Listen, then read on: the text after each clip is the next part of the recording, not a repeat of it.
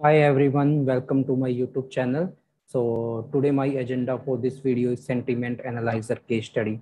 And in this case study, I have chose the IMDb movie review dataset. By using this, I have developed the sentiment analyzer and I will showcase you how we can, uh, can solve the real-time challenges while developing a sentiment analyzer from data pre-processing to feature engineering and then the modeling using the NLP-based model and then handle the real-time challenges, then evaluation of best model. And here you can see basically how we can approach any data science problem. So here are the basic overview of IMDb movie review dataset. And basically I have downloaded this dataset from Kaggle. And if you want, you can download this directly from the Kaggle. So here is the link for the Kaggle. Let me move to this link. So here are the Kaggle page you can directly log in with your credentials here and then you search for the IMDb dataset for movie review and translation. Then you directly uh, navigate to this page and you can download this dataset from here. And if we talk about the size of dataset, this dataset has the 384 MB size and in CSV format. And here are the quick introduction regarding this dataset, what kind of challenges in the dataset and what are the goals uh, to share this dataset. So you can read from here. And here are the four important columns like the rating, review, movie, Hassania. So in rating, we have the user rating provided 1 to 10 scales. You are like the movie, then they provide that 10 out of 10, 9 or 8. And if they don't like the movie, they provide the 1 or 2, or 3 or 4 rating. And in review section, here is the content of the review and uh, this review in English language like the user providing the content. So we are basically interested in this part and the rating part in our, this case study. And if we talk about the unique value, this review section contain the 1,49,780 unique values. And in movie attribute, we have the movie names. And if we talk about the unique movies, we have the 14,207 unique movies. And in case of Hisania, Hisania basically the Portuguese word here is the translation of English English review to the Portuguese review. And so we have the unique 1,49,774 unique reviews in Portuguese language. So let me back to the PPT. So let me discuss the basic statistics. So here are the basic statistics regarding our data set. And as I explained you on Kaggle page, like our data set contain the four important attributes First one is rating, then review, then movie, then Hassania. And in case of rating, user providing the rating rating for any movie from 1 to 10 scale. And as shown here in the rating section. And in review, user providing the review in English language in string format like the user like the movies like user like the screenplay action or the or the song or the story of the movie so overall feedbacks in the review section in English language. And movie attribute contain the names of the movie, and these are the unique names. And in case of Hisania, Hisania basically translation of reviews in Portuguese language. And if we could, if we talk about the downloaded data set unique entries, uh, number of reviews in English language, we have the for 1 lakh to uh, 49,780 reviews and in case of number of movies, we have the 14,200, 205 unique movies. So these, uh, these the basic information regarding our IMDb dataset. Uh, let me move to the IMDb websites for those users who don't know how, how we provide the re review for a particular movie to IMDb, how we uh, rate a movie on IMDb website. Let me move to the IMDb website.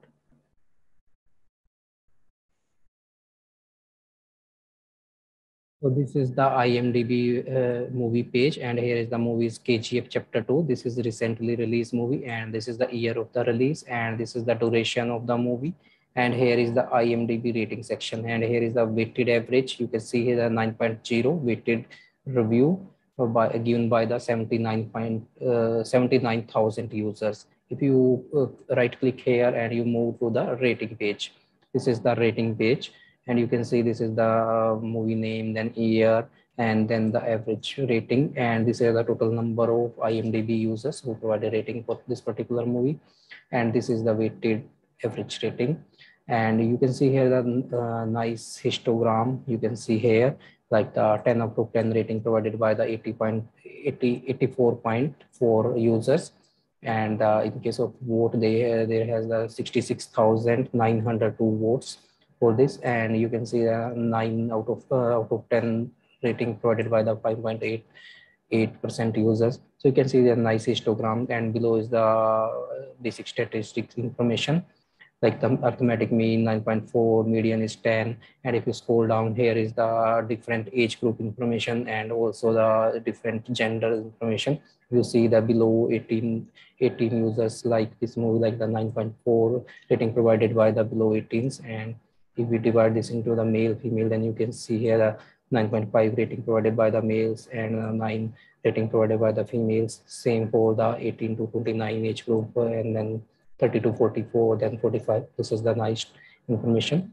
And let me back to the uh, movie page. So here is the movie page. If we scroll down here, and this is the user review section. And here is the total number of 1.4K reviews. And if we right click here and move to this review page, this is the review page. Here is the movie name here and this is the review provided by the end user. This is the scale of the review, like 10 out of 10 rating provided by this particular user. And this is the summary of the review title. You can see the title of the review. This is the reviewer name, and this is the date of the review, and this is the content of the review. And in this case study, our main focus on this content and this rating. We will use these two features to make our sentiment analyzer model. So let me back to the case study.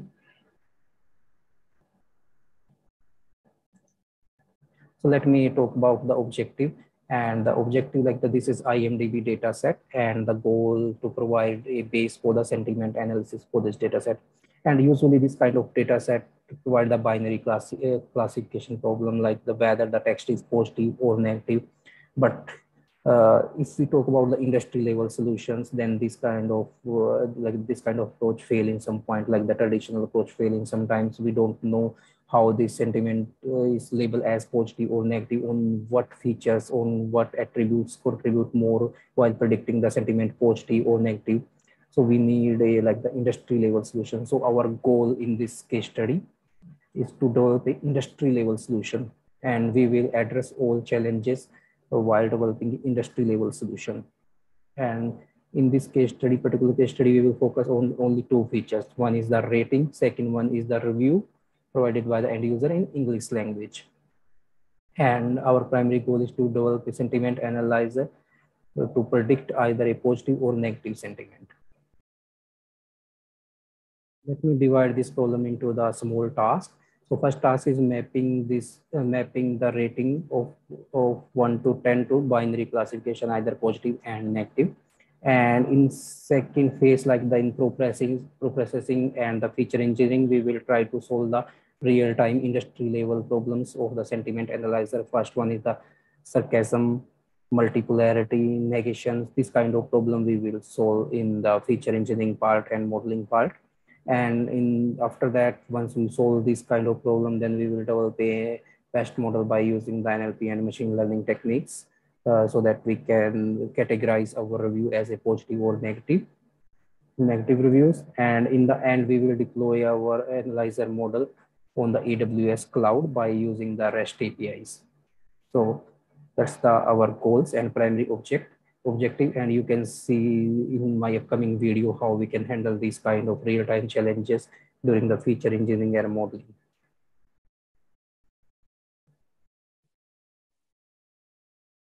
So first phase is mapping to data science problem. So you can see here we have the we have the rating in the one to ten scales, and we have the business problem. Like our task is to find the sentiment of end user uh, by checking their reviews and we need to develop a NLP or ML based model to uh, to predict either the sentiment of the review is positive or negative. But as we know, our reviews in the one to ten 1 to 10 scale. So we need, first we need to convert this problem into binary classification, either positive and negative. So let's first map the rating range to binary classification. So here we need the domain experts or the domain knowledge uh, to map this rating to the positive, negative classes. So if we understand this problem like the if user provided one rating, two rating, then as per the domain knowledge, we can see, okay, this user maybe dislike the particular attribute of the movies, like user don't like the uh, stories or action or the sounds. So that's why their user provided the one, two, three, or up to the four rating. That's why we map the one to four rating to negative class. And if we see like the user providing a 10 out of 10 or nine, eight, or up to seven, then we, we see, okay, this user maybe like this movie. That's why this user is uh, providing high rating to particular movie. And so that's why we map seven to 10 is a positive class. And in case of uh, five to six, we provide the neutral label because we don't know if this is the positive or negative. That's why we provide the neutral. And as we, you know, we are interested in the positive and negative sentiment only, then we will remove the neutral sentiment data from our data set. And our final outcomes and the final goals for this problem is the uh, first one is the predictions. Our sentiment analyzer will provide us the predictions, either the positive sentiment or negative sentiments based upon the review text to particular review. And second major part is the movie attribute liked by the majority of users. We will also share in the end like the movie attribute which uh, liked by majority of users like the actions, directors or the or the actors or the stories, which attributes majority liked by the users and the sound effects you can see. And also we is similar to this, we also share the movie attributes which are not liked by the majority of users. In the end, we will showcase you all things. Move to the real-time challenges while developing any sentiment analyzer. So first challenge is sarcasm. So as we know, like the review contains the multiple sentences, like the user provided the multiple line reviews or phrase of the reviews. And sometimes happen like the user provided the negative review by using the positive words. And if we talk about the traditional sentiment analyzer, like the, those uh, analyzer rely on the positive words, occurrence of the positive words and occurrence of the negative words. And based upon the occurrence of the positive and negative words, they provide the okay, provide the outcome. This is the positive sentiment or negative sentiment. But uh, to handle this kind of sarcasm, uh, we need to design our sentiment analyzer uh, by using the domain expertise, like the domain to particular industry on which review we are working on. And also we can utilize the state of the art NLP techniques. Let me explain the with below example, like the first one is the simple review. And here you can see like the my car has awesome mileage of 25 kilometer per liter. So if we see this is the overall a positive review, awesome word is a positive word. And if we include the domain knowledge here, 25 kilometer per liter is a good average as per the automobile industry or as per the car mileage. So this is a simple review. And second review is uh, sarcastic review. You can see my car has awesome language up to this. This review is positive up to this point. But here you can see like a four kilometer per liter. Here is the challenge. If we include the domain knowledge here, like the four kilometer per liter is not good mileage. But if we if we feed this review into our traditional sentiment analyzer, those analyzer only rely on the positive negative word, then they mark this as a positive review. But if we include the domain domain information here, then we can see, okay, this is the like the negative review provided by the user and the user use the positive word to provide a negative reviews. So to handle this kind of sarcasm, we need to, to use the state of the art of our feature engineering and the NLP and also the domain knowledge. And second challenge is the polarity.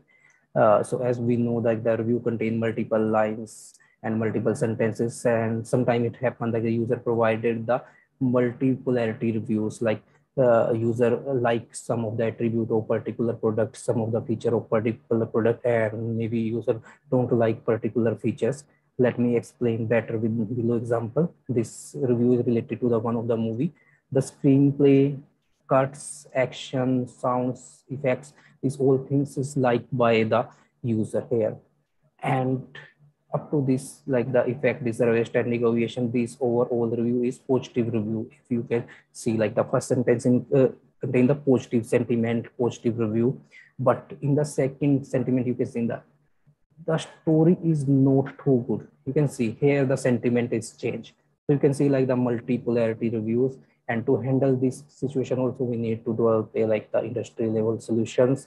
So we need to uh, to handle these multipolarity reviews and we need to find insights from the uh, from the like the multiple sentences of the review so that we can handle the multipolarity in the runtime or in the production time. And third one major problem is the negation sometimes user use none, less, not, never, can't, these kind of word to reverse the polarity or polarity of review or word. So we need to use the state of the art of NLP, machine learning to handle this kind of scenarios uh, also. And let me explain with visual example. If you can see the visual, visual example, I don't call this movie as a good movie. And if we rely only on the positive word, then our sentiment analyzer might this review as a positive review because there is a good word. Good word is a positive review, positive word, and then our sentiment analyzer mark this as a positive review. But if if we can check the context, all context of the sentence, then you can see I don't like, don't call this movie a good movie. So if we uh, we make a sentiment analyzer based upon the context of the sentence then we can find okay eh, there is the like the sentence is use the i don't call this movie a good movie so this is the uh, they don't user use the don't word to reverse the polarity of the good word and uh, so here's the overall review for this sentence is negative for negative sentiment so that's the challenges like the real-time challenges in the industry while developing industry level solutions so in this case study, my goal is to solve these kind of challenges while doing the feature engineering, while doing the modeling, and by using the state of the art of NLP and machine learning techniques. So let me move further. So thank you for watching this video. And if you want to download this data set, I have provided the Kaggle link in the end. And if you want to visit the IMDb website, here is the link for the IMDb website. Thank you. Please like and subscribe my channel. And in case of any feedback, please uh, comment in the below section of the video and thank you